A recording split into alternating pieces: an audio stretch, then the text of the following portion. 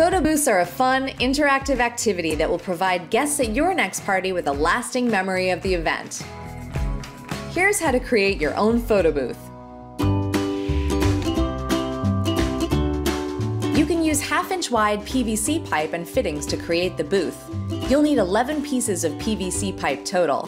4 at 6.5 feet to create the height, 2 cut to 7 feet long for the width, and 4 cut to 3.5 feet wide to brace the sides.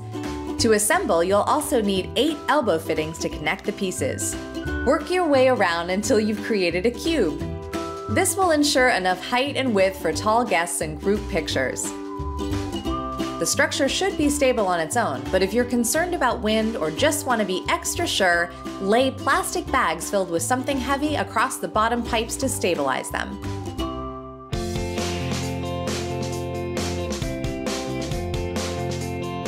Using rolls of paper, cut strips that are 5 inches wide and long enough to attach to the top of the frame and hit the ground. Fold each strip of paper accordion style, then tape each strip to the top of the frame, layering them to create a wall of color.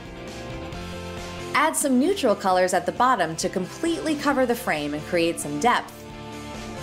Then use simple white muslin fabric to drape the booth's side walls. White works great for the sides because it diffuses the light and will help make the photos look great.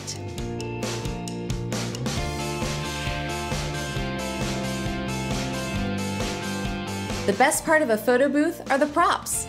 They're an excellent way to encourage guests to let loose and be silly. Plus, if you have a themed party, your props can help infuse that look and feel directly into the photos. Make sure the props are set up close by on a table. When choosing props, think of how easy they are to hold and how well they'll photograph. And choose props that fit your theme.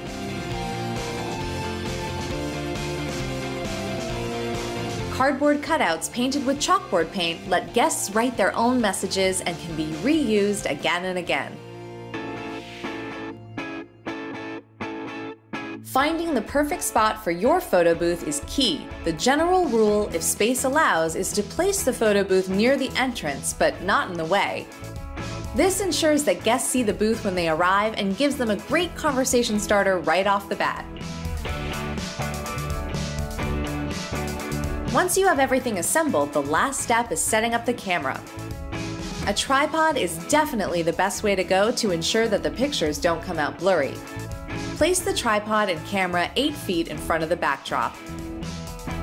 Lighting is also key to taking great pictures. Softboxes are the easiest to set up, and they offer the most flattering form of light. They can be rented at a daily rate from local photography supply stores. Once everything is set up, test the lighting out on a few friends with and without the flash, making sure that no one looks blown out. Keep testing until your friends look well focused and evenly lit. Then leave the camera set for the party on auto timer. So all guests have to do is hit the button, pose, and have fun. After the party, upload all of the images to a photo sharing site and send guests the link. This is definitely the quickest and most efficient way to show your guests their pictures, and it allows guests to choose which ones they like best. The last tip is to consider sending guests prints of the photos as thank you gifts after your event. No matter what your next party theme might be, consider creating a completely original photo booth, complete with a stylistic backdrop, handmade props, and anything else that helps create a happy memory for your event.